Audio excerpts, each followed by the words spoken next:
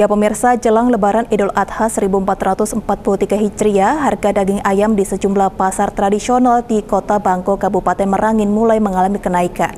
Kenaikan harga tersebut terjadi sejak dua pekan terakhir, naik secara berkala Rp1.000 per hari hingga saat ini. Menjelang lebaran Idul Adha 1443 Hijriah, harga daging ayam mulai mengalami kenaikan. Kenaikan harga tersebut seperti terpantau di Pasar Baru Kota Bangko, Kabupaten Merangin. Harga daging ayam saat ini sudah Rp32.000 per kilogramnya, mengalami peningkatan harga hingga Rp5.000 per kilogram. Dari yang sebelumnya harga normal di harga Rp27.000 per kilogram. Menurut keterangan para pedagang, harga daging ayam mulai mengalami kenaikan dalam dua pekan terakhir. Naik secara berkala Rp1.000 per hari hingga saat ini. Kenaikan harga tersebut turut memengaruhi penjualan pedagang akibat sepinya pembeli.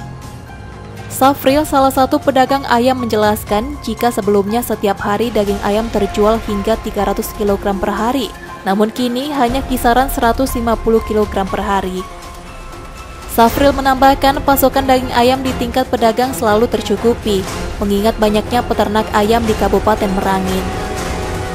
Biasalah mau lebaran, Menjelang lebaran bakalan naik lagi dah? naik paling tidak tidak itulah naik. Tidak tidak signifikan ya.